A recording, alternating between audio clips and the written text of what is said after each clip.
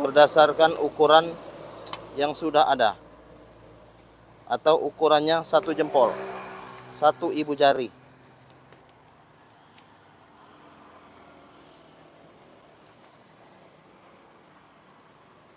Oke, kira-kira seperti yang Anda lihat ya.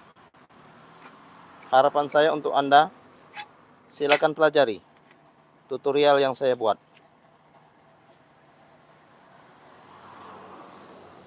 Saya menggunakan lem, lem lilin, kemudian saya bakar supaya lengket ke bagian gorden.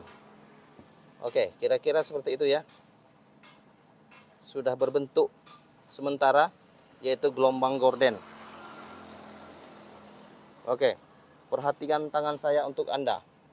Itu adalah bentuk sementaranya dari gelombang-gelombang yang saya buat. Oke, thank you yang sudah menonton ya.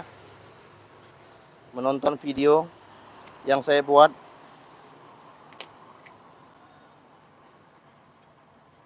Oke, harapan saya untuk Anda semua. Please share this video. Please share. Tolong bagikan video ini ke negara Anda. Share video for the war. Tutorial Gordon.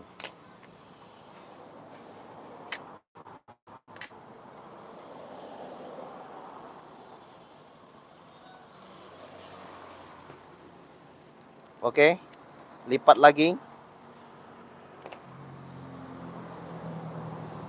sehingga menjadi gorden yang cantik, yang manis.